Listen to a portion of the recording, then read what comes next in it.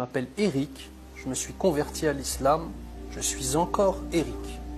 La même personne que ma maman, Michel, a élevé, qu'elle a pris dans ses bras, dont elle a changé le popotin lorsqu'il était petit, et à qui elle a mis des fessées quand il a fait des bêtises.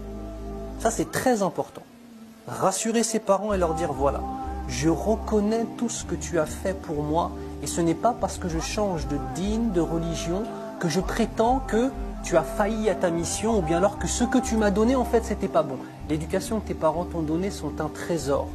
Et c'est ce trésor qui t'a amené à l'islam.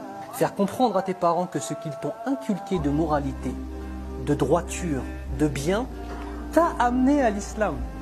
Et que tu dois leur dire merci, c'est grâce à vous que je suis devenu musulman. Ça, c'est très important.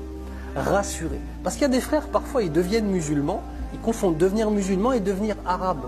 Du jour au lendemain, il met un kamis, il parle un peu en arabe, il s'appelle Eric, on l'appelle. Ouais, est-ce que Younous il est là? Je ne connais pas Younous, c'est qui Younous?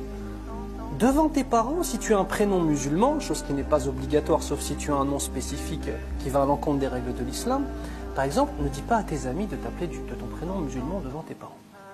C'est quelque chose de base. Ton père, il t'a appelé Joseph, il t'a pas appelé Youssouf, si même, même si aujourd'hui tu t'appelles Youssouf. Donc ça, c'est important.